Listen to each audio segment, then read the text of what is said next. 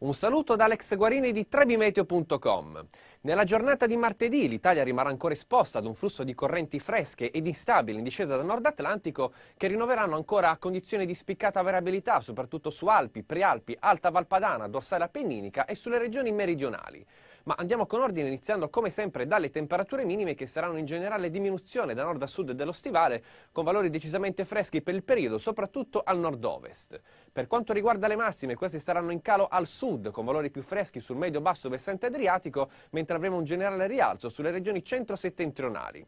Ma entriamo quindi nel dettaglio previsionale per il nord, che vedrà, come dicevo poc'anzi, nuvolosità irregolare soprattutto nelle ore pomeridiane, dove non mancheranno piogge sparse, rovesci ed anche qualche temporale, soprattutto sui rilievi alpini e prealpini, ma che a tratti potranno sconfinare fin verso la Valpadana. Ci spostiamo ora alle regioni del centro, che vedranno condizioni meteorologiche analoghe, con maggiori spazi soleggiati in prossimità dei settori costieri, mentre maggiori addensamenti si concentreranno al pomeriggio lungo la dorsale appenninica, con il rischio di rovesci ed anche di qualche temporale. Maggiore instabilità infine sulle regioni meridionali, soprattutto sui settori peninsulari, con piogge e temporali sparsi, soprattutto ancora una volta al pomeriggio, mentre avremo maggiori schiarite sul settore centro-occidentale della Sicilia, ma soprattutto sulla Sardegna, fin dal mattino.